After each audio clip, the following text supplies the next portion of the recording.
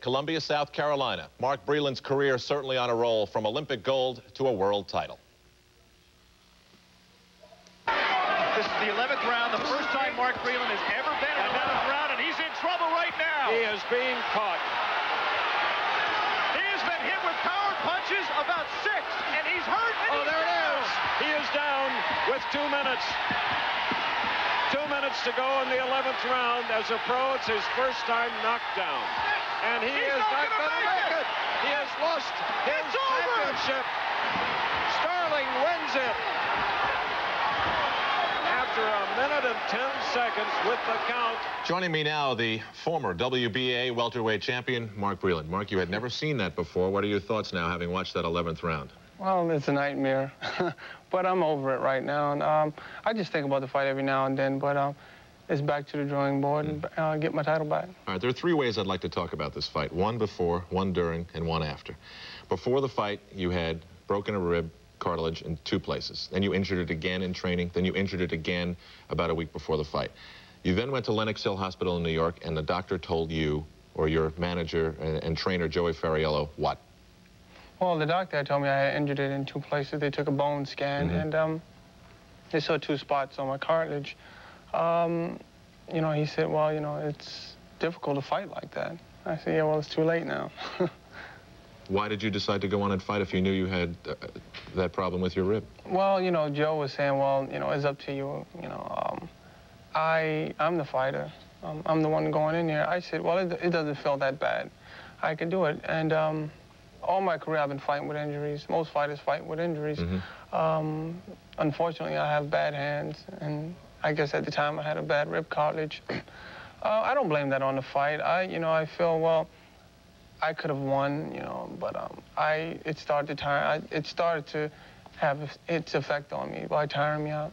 Well, the fight seemed to draw out a lot of controversy. People wanted to know, was it the ribs or was it the fact that Joey didn't have Mark in shape? What was the reason, do you No, think? I no, it's not Joe's fault. I was in great shape. It's just um.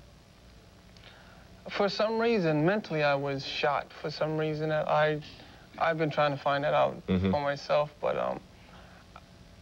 I realized my legs weren't there after the first round. I don't know why, and you know, just things weren't right. I, I wasn't myself.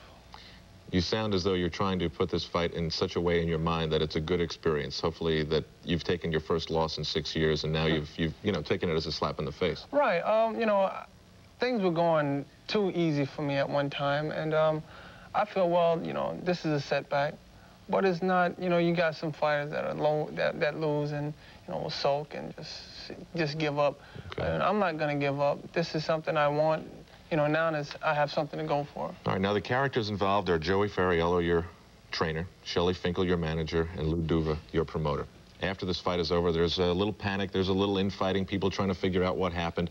Now the dust is settled. You've gotten back into thinking that you're going to resume your career. How has everyone's position with you changed, or has it? No, it hasn't changed. Um, everyone's been trying to figure out what happened. You know, what happened. I, you know, I don't know.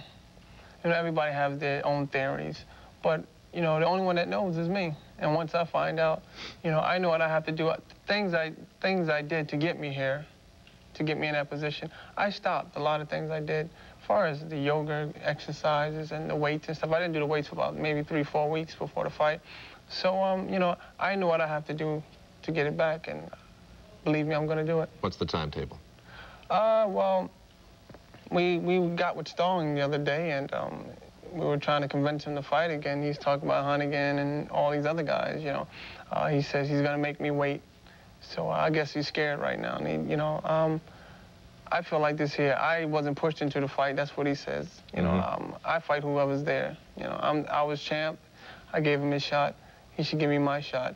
But um, right now, uh, I'll take off a couple of months. Uh, probably be back in the ring by November, December.